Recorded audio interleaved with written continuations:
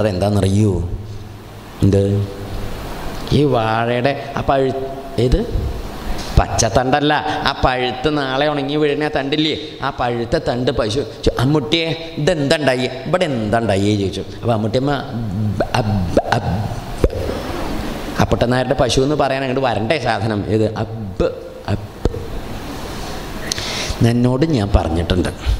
നിങ്ങൾക്കാർക്കും വേണ്ട അച്ഛാ പിന്നെ എന്തിനപ്പം എനിക്ക് വാഴ കൃഷി? നിങ്ങൾക്ക് ഇയാൾ അകത്തേക്ക് അങ്ങോട്ട് പോയി വെട്ടത്തി ഇങ്ങോട്ട് കൊണ്ടുവന്ന നൂറ് വാഴയും വെട്ടി അങ്ങോട്ട് ഇട്ടു വെട്ടിയിട്ടിട്ട് ഇങ്ങോട്ട് അരിശം തീരാതെ വെളിച്ചപ്പാട് കോയമ്മയുടെ മുമ്പിൽ നിൽക്കണ മാതിരി ഇങ്ങനെ നിൽക്കുക എന്നും പറഞ്ഞിട്ട്. വെള്ളം കോരി ഒഴിക്കാൻ ആണുങ്ങളൊന്നും ഇല്ലാത്തതുകൊണ്ട് കുറച്ച് കഴിഞ്ഞപ്പോൾ അമർന്നു. എന്ത്? കുറച്ച് കഴിഞ്ഞ് എല്ലാം കഴിഞ്ഞ് അമർന്ന് നോക്കിയപ്പോൾ അദ്ദേഹത്തിന് തോന്നി എന്താ ഇപ്പം ഉണ്ടായി ഇവിടെ? ഇവിടെ ഇപ്പം എന്തുണ്ടായത്? എന്തുണ്ടായത് എന്തുണ്ടായത്? ആ വടക്കേലെ പശു ആ വെയിലി ചാടി വന്നിട്ട് ആ പഴുത്ത വാഴയുടെ ഒരു കൈ കടിച്ചു തിന്നു. ഇത്രയേ ഉള്ളൂ. പഴുത്തൊരു വാഴയുടെ കാണാൻ പശു കടിച്ചതുകൊണ്ട് വാഴയ്ക്കൊരു കേടും വരില്ല. ആ നൂറ് വാഴയ്ക്കും ഒരു പരിക്കും ഇല്ല. അത് നാളെ മറ്റന്നാൾ ഉണങ്ങി പോണതാണ് ആ വാഴയുടെ തണ്ട്. അതുകൊണ്ട് ഒന്നും തോന്നേണ്ട കാര്യമില്ല. അത്രയല്ലേ തിന്നുള്ളൂ. അപ്പോഴേക്ക് കണ്ടു ഓടിച്ചു കളഞ്ഞില്ലേ? വേറെ ഒരു നാശം ഉണ്ടായിട്ടില്ലല്ലോ. പക്ഷേ ഇദ്ദേഹത്തിന് എന്താ തോന്നിയത്? ഇവർക്ക് ആർക്ക്? ഭാര്യയ്ക്കും മക്കൾക്കും ഒന്നും തന്റെ കൃഷിയിൽ താല്പര്യമില്ല. പിന്നെ താൻ ആർക്ക് വേണ്ടിയിട്ടാണ് ഇതാണ് ഉണ്ടായ ചിന്താവികാര വായ്പ. അദ്ദേഹം എന്നിട്ട് വെട്ടത്തി ഇങ്ങോട്ട് കൊണ്ടുവന്ന് എന്താ ചെയ്തത്? മമ്മൂട്ടിയമ്മ ഇങ്ങനെ നോക്കുക നിർത്തിക്ക് ചെയ്താൽ മതിയായിരുന്നു രാവിലെ. എന്ത്? ശരിയല്ലേ ഇത്? ഇപ്പം ആരെ ഇപ്പം ഈ വാഴ നശിപ്പിച്ചത്? വടക്കേല പൊട്ടന്നാരുടെ പശുവോ? അതോ ആരേത്? ക്രോധമൂലോഹി. എന്താണ്?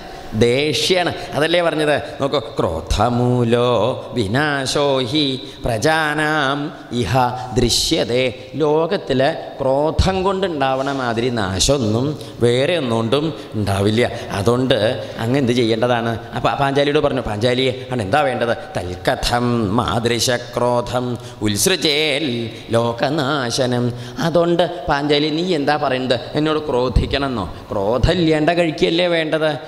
ക്രോധിക്കുക വേണ്ടത് ക്രോധിക്കാണ്ടിരിക്കുക വേണ്ടത്. അതാണ് ശരിയായ സമ്പ്രദായം. കാരണം എന്താ ചോദിച്ചാൽ ക്രുദ്ധ പാപം നരക്കുരിയാൽ ദേഷ്യം വന്നവരാണ് പാപം ചെയ്യണത്. എപ്പോഴും നോക്കിക്കോളും. എന്തെങ്കിലുമൊക്കെ ചെയ്യുക എപ്പോഴാണെന്നറിയോ എപ്പോഴാണ് ചെയ്യുക സന്തോഷമാവുന്ന സമയത്ത് ചീത്തത്തെ എന്തെങ്കിലും ചെയ്യുമോ നമ്മൾ ഇല്ല ദേഷ്യം വരുമ്പോഴാണ് ഓരോന്ന്.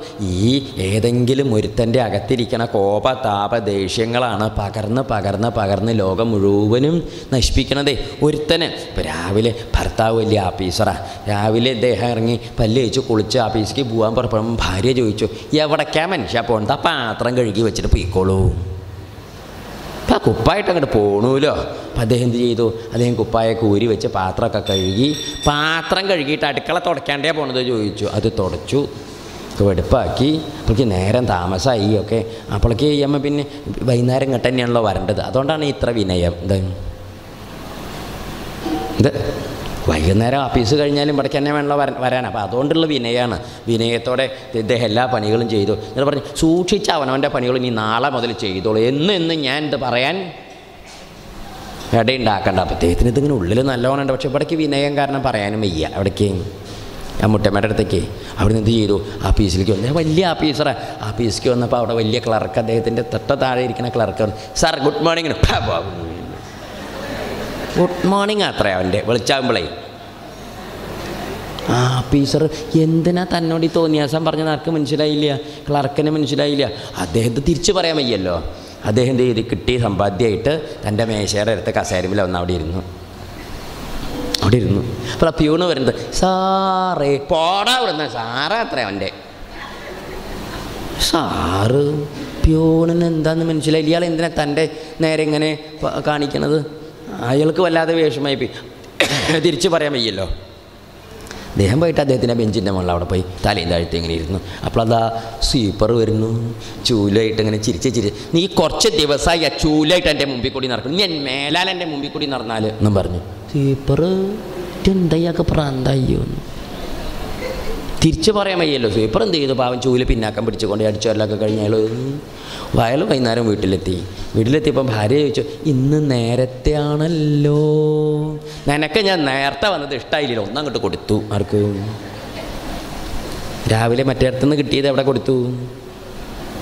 ഭാര്യയ്ക്ക് കൊടുത്തു. ശരിയല്ലേ? ഇപ്പോൾ ഒരു സ്ത്രീ തുടങ്ങിയത് വേറൊരു സ്ത്രീക്ക് വേറൊരു കുടുംബത്ത് കിട്ടി. തലമുറ തലമുറ കൈമാറി. എവിടെ എത്തി?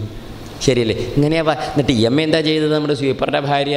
സ്വീപ്പറുടെ ഭാര്യ ഈ കിട്ടിയത് കയ്യിലുണ്ടല്ലോ തിരിച്ചു കൊടുക്കാൻ വയ്യല്ലോ. വയമ ഇങ്ങനെ കാത്തിരിക്കുമ്പോൾ കുട്ടികൾ സ്കൂളിൽ വന്നിട്ട് അമ്മേ ആരാടാന്ന് എന്റെ അമ്മ? ചോദിച്ചിട്ട് കൂട്ടത്തു നാലെണ്ണം കുട്ടികൾക്ക് ആർക്ക് പാവ സ്കൂളിൽ നിന്ന് വന്ന കുട്ടികളൊക്കെ ആ കുട്ടികൾക്ക് മനസ്സിലായില്ല? ഇത് എവിടുന്ന് പുറപ്പെട്ട സാധനമാണെന്ന് നമുക്ക് വളരെ കൃത്യമായിട്ട് അറിയാം. ദാഫീസറുടെ കുടുംബത്തെ അടുക്കളയുടെ വടക്കേ മൂലയിൽ എട്ട് മുപ്പത്തി മൂന്നിന് പുറപ്പെട്ട സാധനം. അത് വൈകുന്നേരം ഇവിടെ നാല് മുപ്പത്തി മൂന്നായപ്പോഴേക്ക് എവിടെ എത്തി? എത്ര വേഗ ഇതാ ഇതാ ഇതാ ഇതൊക്കെ നമ്മൾ ലോകത്തിൽ ഇതിങ്ങനെ പറയുമ്പോഴേ നമുക്ക് മനസ്സിലാവും ഈ ശ്ലോകം ചൊല്ലിയാലൊന്നും മനസ്സിലാവില്ല എന്നേ. അതല്ലേ പറഞ്ഞത്? ക്രോധ ക്രുദ്ധ നമുക്ക് ക്രുദ്ധനായ നരൻ ക്രുദ്ധപാപം നരക്കുര്യാൽ ക്രോധിച്ചോരാണ് എല്ലാ പാപങ്ങൾക്കും പുറപ്പെടും. ശ്രദ്ധിച്ച് നോക്കും ചിലപ്പോൾ നമുക്ക് തന്നെ എന്തെങ്കിലുമൊക്കെ വേണ്ടാത്തരം ചെയ്ത് കഴിഞ്ഞാൽ കുറച്ച് കഴിഞ്ഞാൽ തോന്നും എന്ത്? വേണ്ടിയിരുന്നില്ല. എന്താ? വേണ്ടിയിരുന്നില്ല. എന്ന് തോന്നില്ലേ? അതെന്തോട്ടാണ് തോന്നുന്നത് നമ്മൾ നല്ലോണം ചിന്തിച്ച് ആലോചിച്ച് നല്ലോണം രൂപം ഉണ്ടാക്കി മനസ്സിരുത്തി എന്നിട്ടാണ് ഈ പണി ചെയ്തത് വെച്ചാൽ കുറച്ച് കഴിഞ്ഞാൽ വേണ്ടിയിരുന്നില്ല എന്ന് തോന്നുമോ തോന്നില്ല. അപ്പം നമ്മളത് എങ്ങനെ ചെയ്തതാണ്? ആ ധൃതിയിൽ അങ്ങോട്ട് ചാ അതുകൊണ്ടാണ് അറിവുള്ളവർ പറയും നമ്മൾ ഈ വികാരപരവശായിട്ടിരിക്കുന്ന സമയത്തൊന്നൊരു തീരുമാനം എടുക്കരുത്. ദേഷ്യം കലശലായിട്ടിരിക്കുക അല്ലെങ്കിൽ ക്രോ അല്ലെങ്കിൽ ആരോടെങ്കിലും ദുഃഖം കലശലായിട്ടിരിക്കുക അല്ലെങ്കിൽ വേറെ വല്ലവരോടും നമുക്ക് വേറെ ഏതെങ്കിലും വികാരം സ്നേഹം കലശലായിട്ടിരിക്കുക ഇങ്ങനെയൊക്കെ എന്തെങ്കിലുമൊക്കെ കലശലായിട്ടിരിക്കുന്ന സമയത്ത് നമ്മൾ എന്തെങ്കിലുമൊക്കെ പറയുകയോ ചെയ്യുകയോ ചെയ്താൽ എന്താവുമെന്നറിയോ അത് പിന്നെ അവ പണ്ട് കാക്ക പ്രേമിച്ച് പ്രേമിക്കണ കാലത്തെ പ്രേമം അങ്ങോട്ട് മുറുകിയ കാലത്ത് ഓ നീ നീയില്ലെങ്കിൽ ഞാൻ ചാവും ഞാൻ ഇല്ലെങ്കിൽ നീ ചാവും എന്നുള്ളൊരു കാലം ഉണ്ടാവുമല്ലോ. എന്ത്? അത് പണ്ട് പറഞ്ഞില്ലേ കാമുകിയോട് കാമുകി ഒന്നുകിൽ നീ ചാകണം അല്ലെങ്കിൽ ഞാൻ ചാണകന്ന്. എന്ത്? അക്ഷരം മാറിപ്പോയതാണ്. അത്രയ്ക്ക് സ്നേഹമായിട്ട് രണ്ടാൾ അങ്ങോട്ടും ഇങ്ങോട്ടും നടക്കുകയാണേ. ആ ഒരു പ്രേമത്തിന്റെ മഹിമയിൽ അങ്ങനെ നടക്കണ കാലത്താണ് ഈ കാമുകിയുടെ പേരും നക്ഷത്രവും വയസ്സും വീട്ടുപേരൊക്കെ അവിടെ എഴുതി വെച്ചു. ഏ, കൈത്തണ്ടേമിലും നെഞ്ചത്തും അങ്ങനെ ഇത്തിരി പഴുതുള്ള ദിക്കിലൊക്കെ എഴുതി. ഇവൾ നാല് ദിവസം കഴിഞ്ഞപ്പോൾ അവൾ എന്ത് ചെയ്തു? വേറെ ഒരുത്തിനെ കണ്ടപ്പോൾ അവൾക്ക് അത് തോന്നി. അവിടെ തിരക്കേടില്ല തോന്നി. അങ്ങോട്ട് പോയി. ഇവൻ എന്ത് ചെയ്യും? ശരിയല്ലേ ഇത്? അപ്പം അന്നൊരു വിക അപ്പം അത് ക്രോ- ക്രോധമല്ല അത് വേറൊരു വികാരത്തിന്റെ മട്ടിൽ ചെയ്തതാണ്. ഏത് വികാരത്തിന്റെ മൂർധന്യത്തിലിരുന്ന് എന്ത് തീരുമാനം എടുത്താലും അത് മനസ്സിലാവില്ലേ? അത് കാമായാലും ക്രോധമായാലും ഇനിയിപ്പം വേറെ വല്ല വികാരങ്ങളായാലും എന്തെങ്കിലും ഒരു വികാരം. വികാരം എന്ന് പറഞ്ഞാൽ മനസ്സിലാവുമോ ഇല്ല പോവോ ഈ വികാരം എന്ന് പറഞ്ഞാൽ എന്താണെന്നറിയോ? മനുഷ്യനൊരു സാമാന്യേന ഒരു ഭാവമുണ്ട്. എന്ത് ഭാവമാണ്? ശാന്തമായ ഒരു ഭാവം. ഇപ്പം നമ്മളൊന്നുമില്ല വെറുതെ ഇങ്ങനെ ഇരിക്കുന്ന സമയത്ത് നമുക്കൊരു ഭാവമില്ല. ക്രോധമുണ്ടോ? ഇല്ല. പിന്നെ സങ്കടം ഉണ്ടോ ഇല്ല. സന്തോഷമുണ്ടോ? അങ്ങനെയൊന്നുമില്ല. നമുക്കൊരു ശാന്തമായ ഉറങ്ങണവരെ കണ്ടിട്ടില്ലേ? നമ്മൾ പറയില്ലേ നല്ല ആളായിട്ട് ഉറങ്ങുമ്പോൾ ഇത് അങ്ങനെ നമ്മുടെ നാട്ടിൽ പറയാറില്ലേ? നേരെ പോക്കനാ പറയണ വെച്ചാലും വളരെ നല്ല ആളാ. ഉറങ്ങുമ്പം അർത്ഥം? ഉറങ്ങുമ്പോൾ ഇങ്ങനത്തെ കാമല്യ ക്രോധല്യ ലോഭല്യ മോഹ ഇങ്ങനത്തെ ഒരു വികാരങ്ങളും ഇല്ലാത്തത് കാരണം അദ്ദേഹത്തിന് ആ ഭാവം ശാന്ത ആ ശാന്തമായ സ്ഥിതിയാണ് അടിസ്ഥാനായ സ്ഥിതി. അങ്ങനെ അടിസ്ഥാനായ ആ സ്ഥിതിയിലിരിക്കുമ്പം അതിൽ നിന്ന് എന്തെങ്കിലും ചലനം ഉണ്ടാവുമ്പോൾ ആ ചലനമാണ് എന്ത് ഈ വികാരം എന്ന് പറയുന്നത് അപ്പോൾ നമുക്ക് നമുക്ക് വേണ്ടപ്പെട്ടവളെ വേണ്ടപ്പെട്ടവരെ വല്ലവരെയും കാണുമ്പോൾ നമ്മുടെ ഈ ഭാവം എന്തായിട്ട് ചെയ്യും? അത് ഇങ്ങനെ ഇങ്ങോട്ട് പൊന്തും. ആ അടിസ്ഥാന സ്ഥിതിയിൽ നിന്ന് ഇങ്ങനെ ഇങ്ങോട്ട് മുകളിലേക്ക് പൊന്തും. അപ്പോൾ നമ്മൾ എന്ത് പറയും? വികാരം എന്നാണ് പറയുക. കുറച്ച് കഴിഞ്ഞാൽ അത് എന്ത് ചെയ്യും? താഴ്ന്ന് ആ അടിസ്ഥാനത്തേക്ക് തന്നെ വരും. അപ്പോൾ വേറെ ഒരാളെ കണ്ടപ്പോൾ ഇഷ്ട ഇഷ്ടമില്ലാത്തവനെ കണ്ടപ്പോൾ ദേഷ്യം കിട്ടു വന്നു. വീണ്ടും പൊന്തി വരും. അതിപ്പോൾ നമ്മൾ ഈ ഗ്രാഫൊക്കെ വരച്ച പണ്ട് കണക്കൊക്കെ ചെയ്ത് ഓർമ്മയില്ലേ? അങ്ങനെ വരച്ചാൽ മതി. ഇങ്ങനെ മുകളിലേക്ക് പോവുക കീഴ്പ്പെട്ട് വരിക മുകളിലേക്ക് പോവുക കീഴ്പ്പെട്ട് വരിക അങ്ങനെ മുകളിലേക്കും കീഴ്പ്പെട്ടും പോയിട്ട് വരുമ്പം ആ അടിസ്ഥാനപരമായ ഒരു അടിത്തറ ഉണ്ടാവില്ലേ അതിന്? അതാണ് നമ്മുടെ സ്വഭാവം. അതാണ് ശരിയായ സമ്പ്രദായം. അങ്ങനെയുള്ള ഒരു ഭാവത്തിൽ ഇരുന്നിട്ട് അടിസ്ഥാനപരമായ ശാന്തമായ ഭാവത്തിലിരുന്ന് എന്തെങ്കിലും തീരുമാനിച്ചാൽ നടക്കും. അല്ലാത്തത് എന്തായിട്ട് വരില്ല? നേരെയാവില്ല. അതുകൊണ്ട് ഏതെങ്കിലും തീരുമാനങ്ങൾ നമ്മൾ എടുത്തത് നേരെയാവാണ്ട പോയി എന്ന് തോന്നുന്നുണ്ടെങ്കിൽ അതിന്റെ അർത്ഥം എന്താണെന്നറിയോ? അത് ഏതെങ്കിലും വൈകാരിക സന്ദർഭത്തിൽ കൈക്കൊണ്ട തീരുമാനമാവുന്നതാണ്. ഇത് ഇത് ലോകത്തിൽ വേണ്ട ആവശ്യമുള്ള ഒരു വർത്തമാനം. വികാരം ഉണ്ടാവുമ്പോൾ നമ്മൾ എന്ത് ചെയ്യരുത്? ഒരു തീരുമാനം എടുക്കരുത്. ദേഷ്യം അങ്ങോട്ട് കലശലായിട്ട് വരുമ്പോൾ നമുക്ക് അങ്ങോട്ട് തോന്നും ചിലതൊക്കെ അങ്ങോട്ട് ചെയ്യാന്ന്. ചെയ്യരുത്. എന്താ കാരണം? ചെയ്താൽ വലിയ ബുദ്ധിമുട്ടാണേ. ഇപ്പം നോക്കൂ നമുക്കിപ്പോൾ ആരെങ്കിലും നമ്മളെ തെറി വിളിക്കുക എന്തെങ്കിലും ചെയ്യാം നമുക്ക് നല്ലോണം അങ്ങോട്ട് ചീത്ത ചീത്ത പറയണമെന്നുണ്ടായിരുന്നു. നല്ല കുറേ പറയണമെന്നുണ്ടായി. മറ്റോനെ അദ്ദേഹം അങ്ങനെ ചെയ്തൂലോ നമ്മളോട്? അപ്പം അതുകൊണ്ട് അവൻ വരട്ടെ നാളെ രാവിലെ വരും പറയാ നാലെണ്ണം. നമ്മളിങ്ങനെ തയ്യാറായിട്ട് നിന്നതാ കസേരയിൽ. ഇപ്പം വരുമ്പോൾ കിட்ட പറയാന്ന്. ഇപ്പം വന്നില്ല. ആരും? ഇപ്പം വന്നില്ല. അപ്പം നമുക്ക് വൈകുന്നേരം നമുക്ക് ബസ് സ്റ്റോപ്പിൽ നിന്ന് കാണുമ്പം പറയാമെന്ന് വിചാരിച്ചു. വൈകുന്നേരം നമുക്ക് ബസ് സ്റ്റോപ്പിക്ക് നേരത്തിന് എത്താൻ പറ്റിയില്ല. അതുകൊണ്ട് പിന്നെ കാണാൻ പറ്റിയില്ല. പിറ്റേന്ന് രാവിലെ എന്തായാലും പിന്നെ പിന്നെ എന്തായാലും വഴിയിൽ നിന്ന് കാണും. അപ്പോൾ പറയാമെന്ന് വിചാരിച്ചു. വഴിയിൽ നിന്ന് ഇവനെ കണ്ടതുമില്ല പിന്നെ നമ്മൾ എന്ത് ചെയ്തു പിന്നെ പിന്നെ പിന്നെ അതെന്തായി?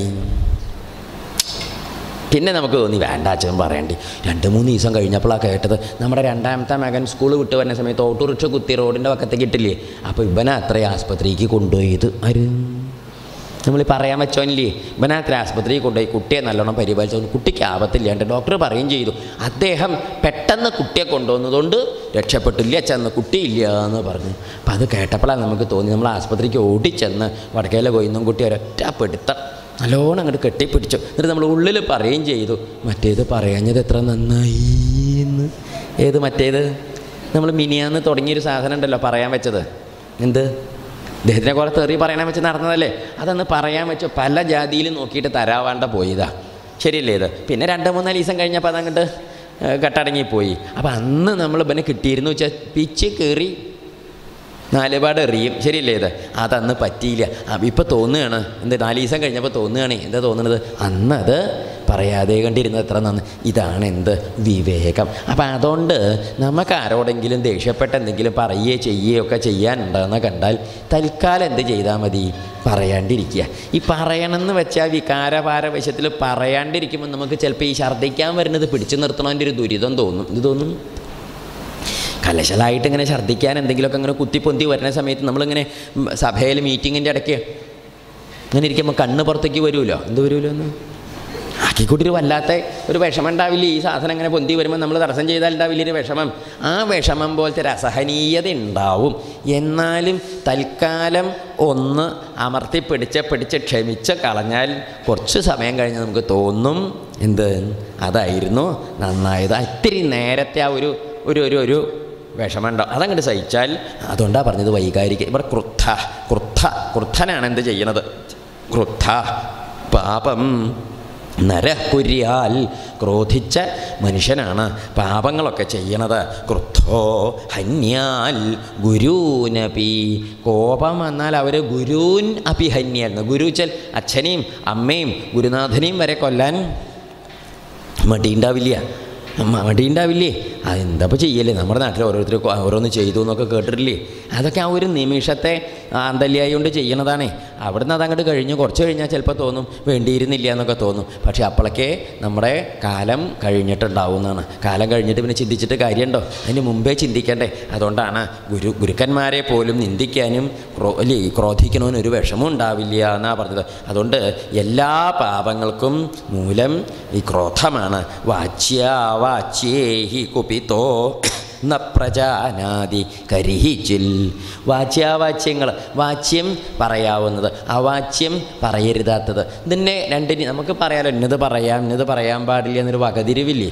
ഈ വകതിരിവ് എപ്പോൾ പോകുന്നറിയോ? കുപിതോ പ്രജ പ്രജാനാദി. കോപിച്ചിരിക്കണവനോട് കോപിച്ചിരിക്കണ വ്യക്തിക്ക് വാച്യാവാച്യങ്ങൾ എന്താണെന്ന് ന പ്രജാനാദി മനസ്സിലാവില്ല. ആരോട് എന്ത് ഏതുവരെ പറയാം എന്നൊന്നും ഇങ്ങനെയുള്ള ക്രോധിച്ച ആൾക്ക് പറയാൻ ഒരു ഒരു നിയമം രൂപം കിട്ടില്ല എന്നാ പറയുന്നത് എന്തും ആരോടും പറയുന്ന ന കാര്യമസ്തി ക്രുദ്ധസ്യ ക്രുദ്ധസ്യ അകാര്യം ന അസ്തി. ക്രോധിച്ചവന് ഇന്നതേ ചെയ്യാവൂ എന്നൊന്നും ഇല്ല. എന്തും ഈ ക്രോധം വന്നവൻ എന്താ ചെയ്യാന്നൊന്നും പറയാൻ പറ്റില്ല. അങ്ങനത്തെ ഒരു സമ്പ്രദായം ഉണ്ടല്ലോ. എന്ത് ചില സമ്പ്രദായങ്ങൾ അങ്ങനെയുണ്ട്. എന്തും ചെയ്യാന്നൊരു മട്ടില്ലേ അത് വല്ലാത്ത ബുദ്ധിമുട്ടാണ് അത് പണ്ടേ വടക്കേലാപ്പെട്ട വടക്കേലാപ്പെട്ടന്നേരുടെ മോനെ എടൊഴി കൂടി ഇങ്ങനെ വരിക. കോളേജിൽ നിന്ന് വരികയാണ് ഇപ്പോൾ ബി ടെക് എന്താ? പഠിപ്പ് കഴിഞ്ഞിട്ട് ഇടവഴി കൂടി നടന്നു വരെ ഉണ്ണിയെ അപ്പോൾ കാട്ടടൊഴിയാണ്. ഇടവഴിയിൽ ഇങ്ങനെ ഈ വള്ളിയും പടർപ്പും ഒക്കെ ഉള്ള അപൂർവേ മനുഷ്യന്മാർ പോകുള്ള ഇടവഴി കൂടി. അപ്പോൾ ഈ അമ്മ അമ്പലത്തേക്ക് പോകാനായിട്ട് വടക്കേലെ നാണിയമ്മ അമ്പലത്തേക്ക് പോകാൻ ഇടവഴി കൂടി പോകും. അപ്പോൾ നാണിയമ്മ ഇങ്ങനെ അപ്പട്ടന്നാരുടെ മോനെ കണ്ടപ്പോൾ കുറച്ചാലേ കണ്ടിട്ട് കോളേജ് പഠിക്കുന്ന കുട്ടിയല്ലേ? അപ്പോൾ യമ ചോദിച്ചു കുട്ടൻ ഇപ്പം എന്ത് ചെയ്യണു? ചോദിച്ചു. നമ്മളങ്ങനെ ചോദിക്കില്ലേ? അപ്പോൾ കുട്ടൻ പറഞ്ഞു എന്തും ചെയ്യുമെന്നും പറഞ്ഞു. യമ വേഗം അതിൽ ചാടി ഓടി അങ്ങോട്ടോ പോയി. എന്താ കാരണം? ഇപ്പോഴത്തെ കാലമാണ് ഒന്നും പറയാൻ പറ്റില്ല. ഈ വല്യമ്മ കുട്ടിയോട് എന്ത് ചെയ്യണോ ചോദിച്ചത് എന്തിനാണ്? ആ പഠിക്കുകയാണോ? ഉദ്യോഗം അയ്യോ അതോ എന്താ ഇപ്പം പുറത്ത് ജോലി ചെയ്യണം? അങ്ങനെയൊക്കെ ചോദിക്കില്ലേ നമ്മൾ കുട്ടികളോട്. കുട്ടൻ ഇപ്പം എന്ത് ചെയ്യണോ ചോദിച്ചു. അപ്പോൾ കുട്ടൻ എന്താ പറഞ്ഞത്? എന്തും ചെയ്യുന്നു. പിന്നെ അമ്മ മതിൽ ചാടിലുണ്ട് എന്ത് ചെയ്യും? പ്രായം നോക്കിയില്ല? മതിൽ ചാടി ഓടി അപ്പുറത്തെ വീട്ടിൽ കയറി വെള്ളം വാങ്ങി കുടിച്ചവിടെ ചെന്നിരുന്നു എന്നിട്ട് വീട്ടിലേക്ക് പോയി. അന്ന് അമ്പലത്തിൽ പോണ്ടാച്ചു. പിന്നെ അമ്മ അമ്പലത്തേക്ക് അധികം പോയിട്ടില്ല. ജാതികളൊക്കെ ഉണ്ടാകുമ്പോൾ പോകാൻ പറ്റുമോ അപ്പോൾ അങ്ങനത്തെ ഒരു സ്വഭാവമാണ് എന്നുവെച്ചാൽ എന്താ അത്? എന്തും ചെയ്യാൻ മടിക്കില്ല ഈ ക്രോധം വന്നവൻ. അതിന് അമ്മയാണോ പെങ്ങളാണോ അനിയത്തി അച്ഛൻ ഏട്ടൻ എടുത്തി എടുത്തിയമ്മ എന്നൊന്നും തോന്നില്ല. ആരോടും എന്തും പറയാൻ അങ്ങനെയല്ല. വല്ലാതെ ചോദിച്ചു അതുതന്നെ വല്ലാത്തൊരു വിഷമപ്പെട്ട